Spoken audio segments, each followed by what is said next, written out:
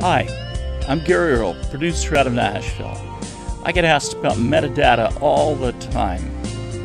I want to answer a few questions today for those of you who may not be using it correctly or may not be using it at all.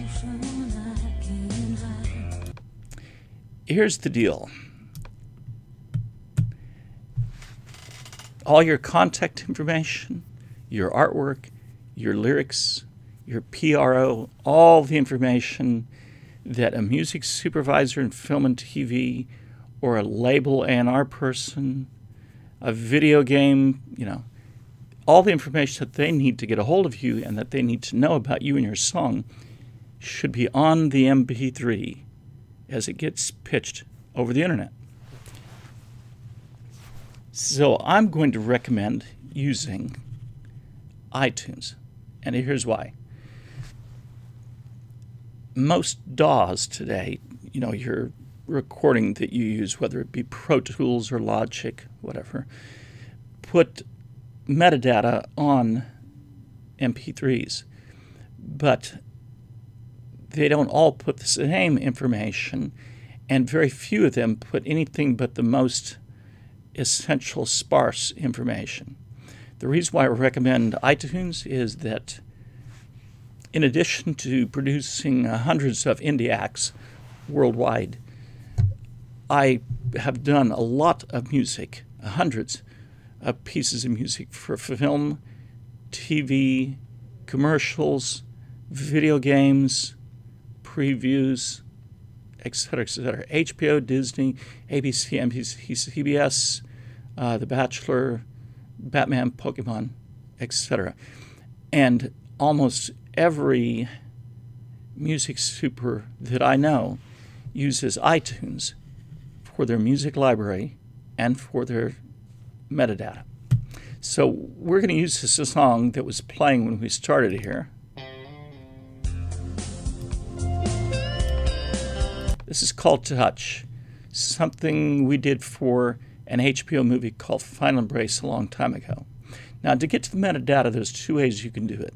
One, you can hit Command I to get information, or you can go up underneath iTunes, pull down File, get Info, and voila, there's the window. Tons of things you can put in here that you cannot put in most other programs that I'm aware of that put metadata on MP3s. Details song name, the artist, the album. In this case, since it was written for an HBO film specifically, that's the name of the song for the film. Composer, genre, check this out. There are more genres here than you can shake a stick at. That was a dumb expression to use. Beats per minute.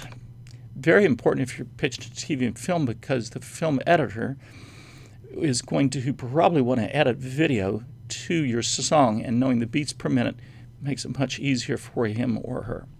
And the single most important thing here is under comments, you need to put your contact information, your email, your text or phone number, and your PRO, which in the United States would be Performing Rights Organization, ASCAP, BMI, SESAC. Obviously, if there are multiple writers, you would put that information in like 50% Gary Earl at ASCAP, 50% John Doe at BMI. Click up here, artwork, voila. Here's the singer of the song who is also the star of the movie. Click, and here's your lyrics. Pretty cool. You don't have to give them a sheet of paper along with the MP3 or the CD.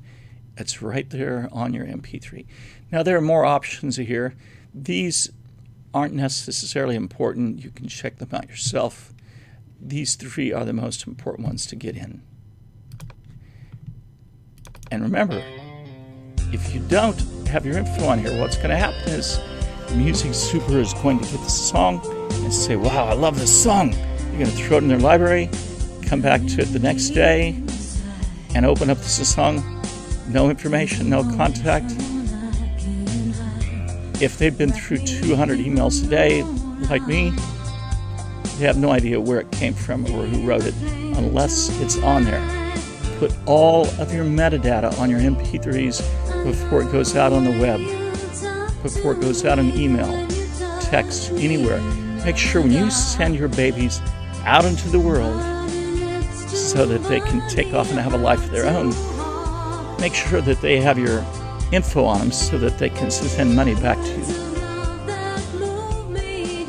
Once again, producer Gary Earl from Nashville.